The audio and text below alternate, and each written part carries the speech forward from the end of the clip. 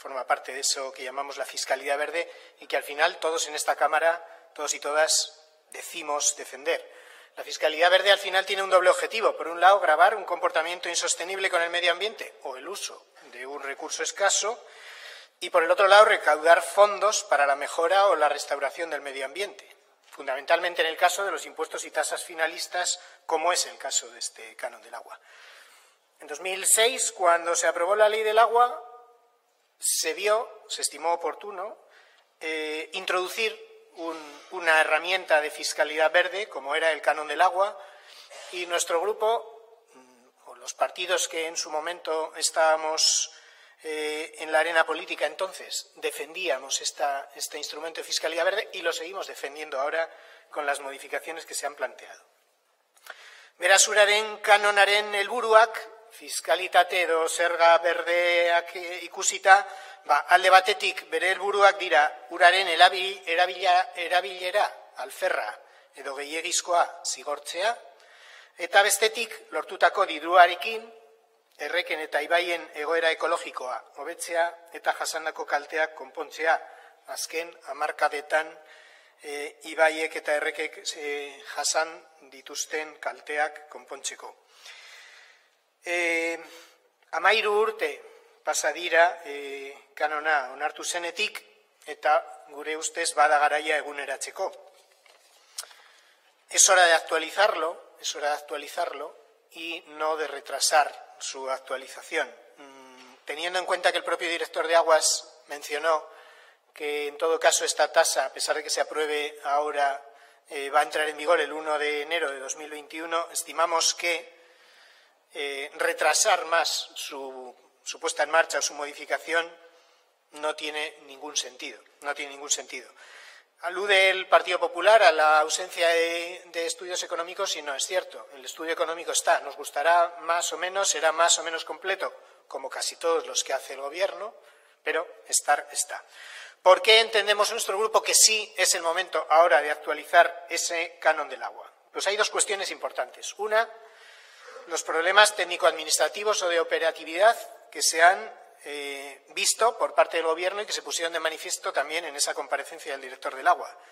Se está cobrando el canon a un año vista, se están emitiendo miles y miles de recibos a las familias y además tenemos con que solamente un 14% del agua está ahora mismo sometida a canon. Por lo tanto, estamos haciendo un uso parcial y discriminatorio de un impuesto que debería de ser justo y equitativo.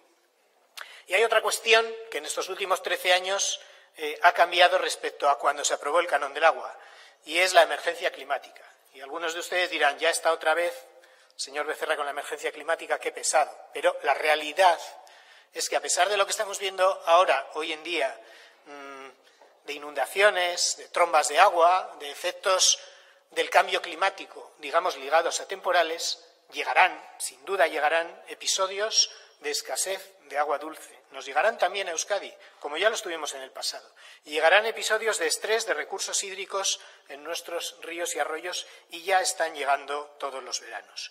Euskadi es una comunidad con una alta dependencia de un único sistema de abastecimiento, que es el de los embalses del Zadorra. Y depender, tener todos los huevos en la misma cesta, nos hace muy vulnerables de cara al futuro. Nos urge, por lo tanto, nos urge, y no podemos esperar uno ni dos años más, nos urge fomentar el ahorro del agua, nos urge premiar la reutilización y nos urge castigar el derroche, para que con todas esas medidas podamos incrementar el caudal de nuestros ríos y arroyos, no solo el caudal ecológico, no solo el caudal mínimo, sino el caudal que habitualmente lleva.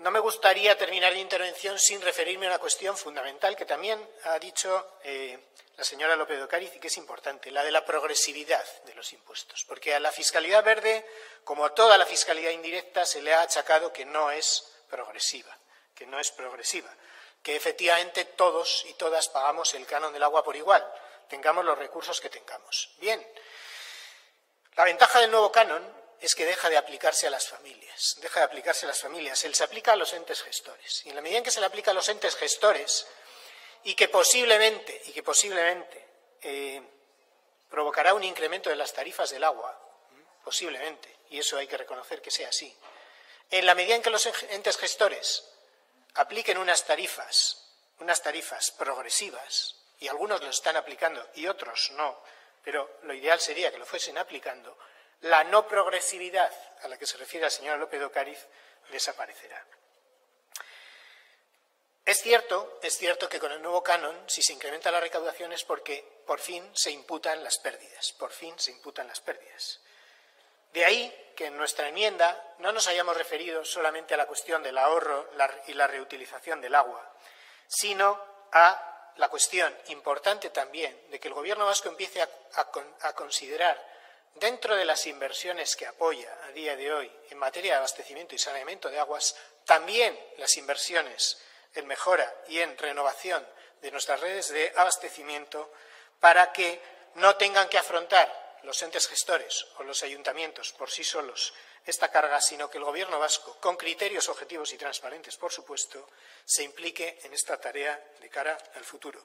Pero, pero no consideramos que la imputación de las pérdidas sea algo que haya que achacarle al Gobierno vasco, sino que nuestros grupos políticos, todos ellos, tendremos que actuar en los órganos de gobierno de los entes gestores, y el Partido Popular está y el Carrequín Podemos está y el resto de grupos de la Cámara estamos para que esos entes gestores, para que esos entes gestores se comporten con la suficiente equidad como para no endosar el problema a las familias, que es lo que en última instancia nos preocupa, tanto a la señora López Ocariz como a nuestro grupo. Es que ricasco.